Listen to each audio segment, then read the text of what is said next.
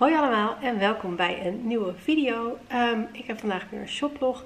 Moet even kijken hoe dit allemaal filmtechnisch gaat zijn. Want Eden ligt nu op bed, die zou moeten gaan slapen. Um, er zijn kinderen hiervoor aan het spelen. Die zouden op een gegeven moment ook een keer weg moeten gaan, zou je denken. Maar je weet het niet. Uh, maar goed, Niels en Sven zijn nu de deur uit. Niels fietst tegenwoordig mee als Sven gaat hardlopen. Vinden ze heel leuk. Helemaal top. Dus ik dacht, nu ga ik filmen en dan ga ik straks natuurlijk ook nog de aanbeelden laten zien. Ja, een shoplog dacht ik. Weer leuk. Um, want ik was een beetje toe aan wat meer winter, nou ja, winter, herfst dingen. Um, of eigenlijk was ik vooral erg toe aan broeken. Uh, ik heb gewoon heel veel skinny jeans, hartstikke leuk. En ik heb al heel veel ja, flares, gewoon, of heel veel. Ik heb een paar flared broeken, gewoon van elastisch. Maar ik dacht een beetje misschien meer ook spijker. In ieder geval wat lekker high waist. Dus ik had wat ideeën en ik wilde wat dingen testen. Dus ik heb een aantal dingen besteld. Um, bij Chiquel, Zalando en uh, nog iets van Mango. Uh, daar had ik nog meer van, maar dat heb ik al teruggestuurd. Dus dat zit hier niet in. Maar ik dacht, ik neem dat toch eventjes mee. Uh, en bij Zalando is het van Bershka en Poelenberg, geloof ik met name. Maar goed, dat zal ik er natuurlijk allemaal bij zeggen. Um, ja, laten we maar beginnen met het eerste. Dat is deze trui. Mega zacht. Echt, ach. Um, van Bershka. Deze heerlijke gebroken witte trui. Hij zegt, als je hem zou kunnen voelen Och, heerlijk. En ik hou helemaal niet zo van. Ik kan niet tegen wol en zo. Dus dit is ook geen wol. Ik weet niet wat dit wel is. Dat heb ik waarschijnlijk. Zit er nog in. Nou, het is in ieder geval mega zacht. Je ziet aan de onderkant, hij is cropped. Uh, dan bestel ik hem meestal een maatje groter. Dat heb ik nu ook gedaan. Dus dat is een M. Uh, meestal heb ik S. Ik ben 1,71. Dus ik vind vaak. ja, ben natuurlijk ook niet meer de jongste, vind ik, zeg maar, als ik cropped in mijn eigen maat doe, denk ik, nee, is wel heel erg cropped. Uh, dus deze valt uh, op de broek waar ik mijn gedachten heb gewoon helemaal goed. Uh, met zo'n strik, strikje onderop. Dus dit vind ik een hele fijne trui. Ja, deze trui, jongens, ik word echt sowieso altijd intens gelukkig van zo'n kleur. Zo wat kraken. En ja, de mouwen zijn heerlijk. Hij is gewoon echt super zacht, super fijn. Even kijken of ze meer, kleuren hebben, want dit is een trui waar je wel in wil wonen. Ja, echt. Jee, gewoon. Dan dit topje van Mango. Uh, ik ben maandag jarig. Als jullie dit zien ben ik al jarig geweest. Uh, maar ik ga twee keer uit eten. Uh, doe het gewoon een beetje kleine clubjes. Twee of drie keer, weet ik niet, uit eten. Een paar keer uit eten. Um, en ik ga ook natuurlijk nog met Sven uh, vieren. En met de kids natuurlijk ook. Maar dan kleed ik niet feestelijk aan. Dus ik vond het wel leuk om even iets feestelijks te hebben. En ik vond het wel een heel mooi uh, truitje uit de sale. Um, het is van Mango, maar ik kocht het in de sale bij de Bijkorf. Uh, met een mooi ja, pofmouwtje, zeg maar. hij is ja, super sheer. Maar ik doe er dan wel gewoon een hemdje onder. Je kan natuurlijk ook, als je je feeling sexy, kun je natuurlijk ook gewoon met een BH doen. Maar daar vind ik mijn borsten net iets te groot voor, zeg maar. Um, maar ik dacht gewoon met een mooi hemdje eronder en dan uh, gewoon in een high-waisted broek gestopt. Ja, leek het mij heel mooi. Nou, dit is dat shirtje.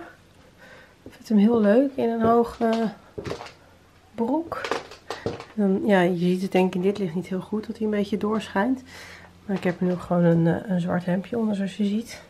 Misschien dat ik dan wel kies voor een V-hals hemdje. Dat staat misschien net iets leuk. Ik vind die mouwtjes ook heel gezellig. Ja, ik vind het wel een leuk birthday hemdje. Dan uh, bij Chiquel. Daar heb ik eerlijk gezegd nog nooit, ik kan herinneren, iets besteld. Misschien één keer. Ik denk het zelfs nooit. Ik ben er wel altijd door geïntegreerd. En nu was er een, iets van, weet ik veel, heel veel procent korting op de hele site. Ik kwam er eigenlijk doordat ik een code van, ik denk La Vie Sanne, maar het kan ook niet anders zijn geweest, op Instagram zag. Dat ik dacht, oh ik ga weer eens kijken. Maar toen hadden ze zeg maar, op de site nog een veel betere code zijn. Ik dacht iets van 40% op de hele site, zo echt bizar. Dus ik dacht, nou, ik ga eens even kijken. En ik vond dit heerlijke oversized t-shirt met deze lekker uit de ouderwetse Volkswagen busje erop. Ik vond het wel heel leuk. En ik heb uh, een beetje zo'n volwassen grijs shirt, maar die is echt, je kan er bijna doorheen kijken. Zo afgedragen is die. Dus ik dacht, hm, die is wel toe een vervanging. Deze is wel iets ander model, want deze is echt heel oversized. Um, dit is maat S. Sorry voor een krijzend kind ergens. Uh, en de mouwen zijn ook echt lang. Maar I love it. I love it, I love it. Nou, dit heerlijke oversized shirt. Kijk, die mouwen zijn echt wel lang. hij is gewoon echt lekker groot, maar daar hou ik wel van. En ja, hij is ook echt... Je kan hem ook nog met zo'n uh, of zo aandoen. Het is gewoon echt een heerlijke oversized shirt. Ja, zo, tegenwoordig schijnt ook zo te kunnen dragen, maar dan voel ik me echt 12. Dus dat moeten we misschien niet willen. Maar gewoon een uh, heel fijn stofje, ook heel zacht. Weer terug in. Voel ik maar meer mens.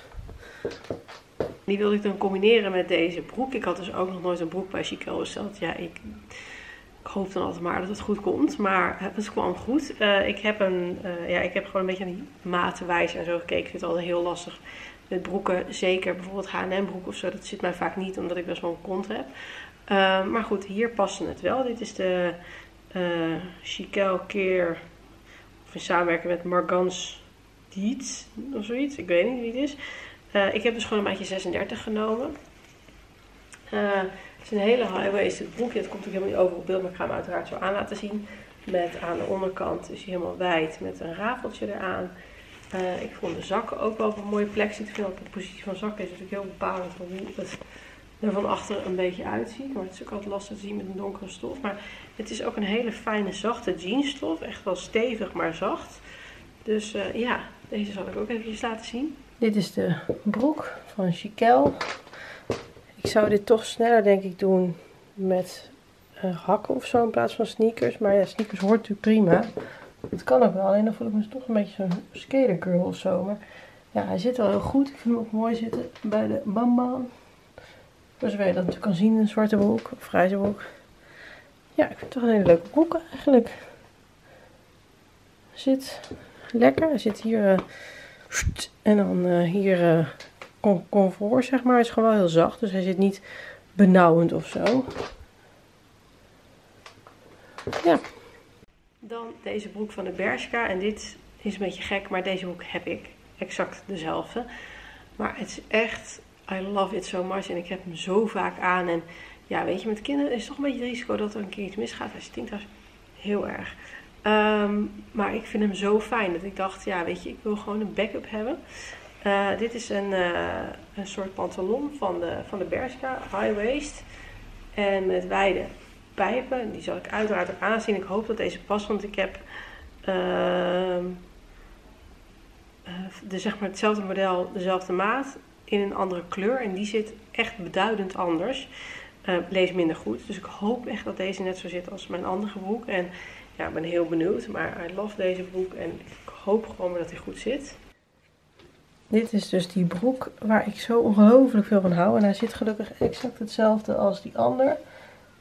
Mega blij mee. Echt helemaal top.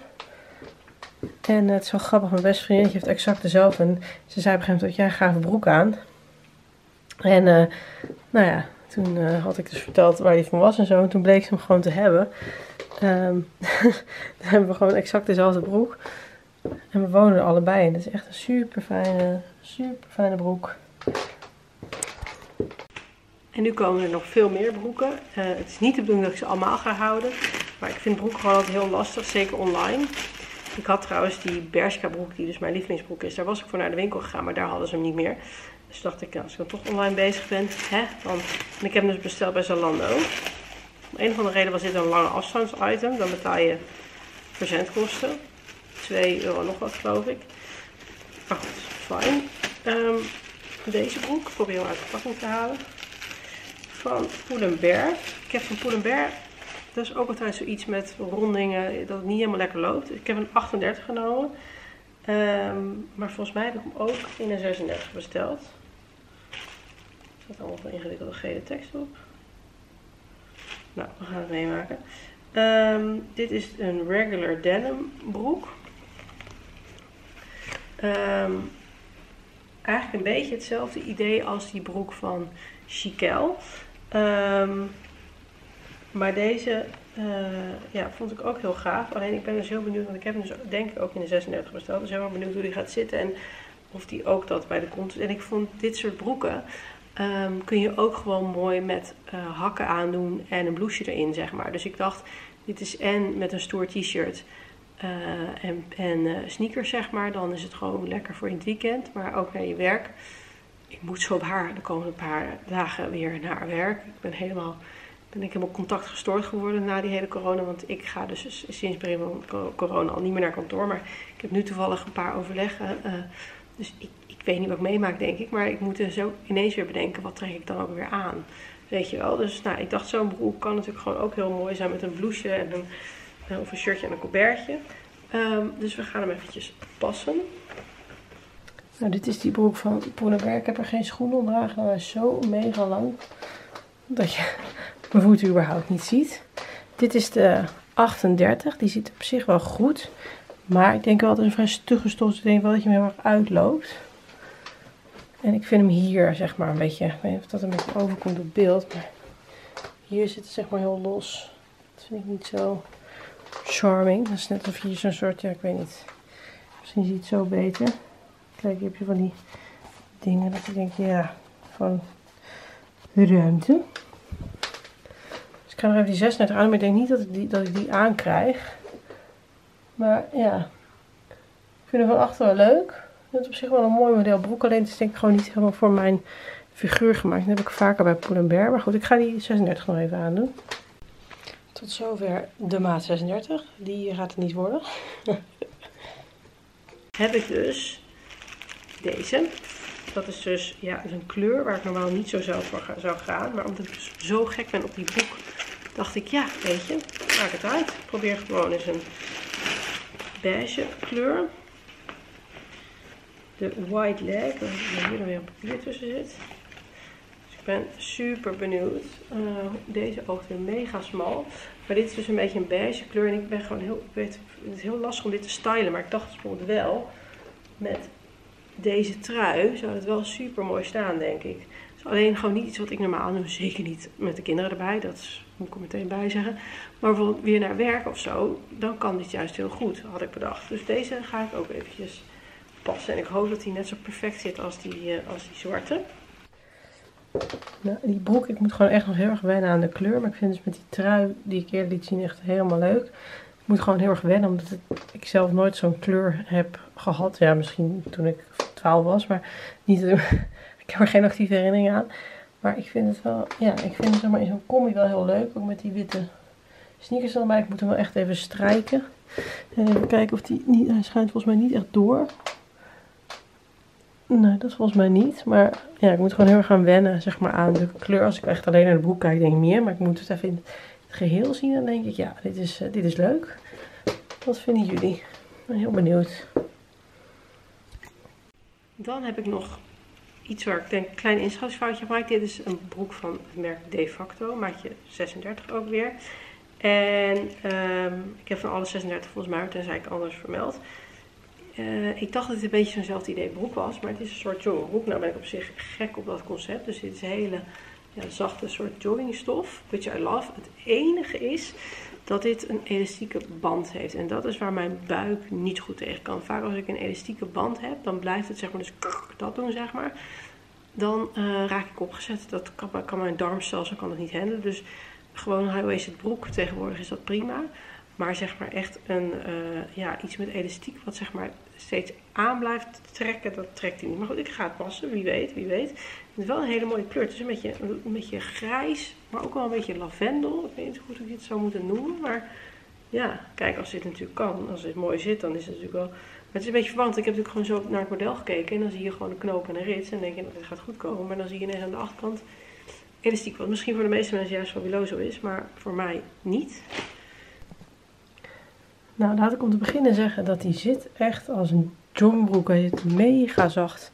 Heel comfortabel. Ik vind hem hier ook niet te veel aantrekken of zo. Alleen ik vind hem wel een beetje, ik weet niet of het helemaal overkomt beeld, maar je ziet zeg maar hier de lijn van mijn ondergoed lopen. En ja, het is best wel tekenend en dat vind ik wel echt jammer. Van voren denk ik helemaal top.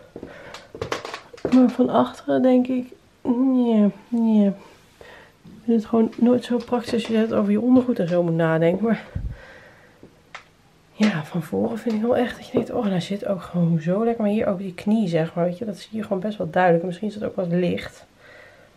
Maar kijk, hier heeft hij het niet zo, dat hier gewoon zakken zitten tot hier. Dat zie je ook wel, maar dat stoort me niet zo erg. Aan de achterkant weet ik gewoon niet of ik dan zo charming vind. Maar ja, dit is natuurlijk ook wel zeg maar spotjes licht. is nooit echt het meest fantastische licht. Hij zit wel echt, oh hij zit super lekker. Hij is echt, hmm, gewoon. Maar ja, ik twijfel. Wat vinden jullie? Uh, maar goed, ik ga nu alles passen. Maar jullie hebben natuurlijk de aanbeelden al tussendoor gezien. Ja, ik hoop dat jullie deze vooral broeken shoplog leuk vonden. Laat even weten welke broeken jouw ding zijn. Uh, of welke je mij leuk vond staan. Ook leuk om te weten of welke je denkt, nou Karin, doe die maar terugsturen. Uh, dus ja, ik moet het zelf nu nog aantrekken, dus ik weet het nog niet. Maar ik ben heel benieuwd. Ik hoop dat jullie deze shoplog weer leuk vonden. Ik wil jullie ontzettend bedanken voor het kijken. En ik zie jullie heel graag heel snel bij een nieuwe video. Doeg!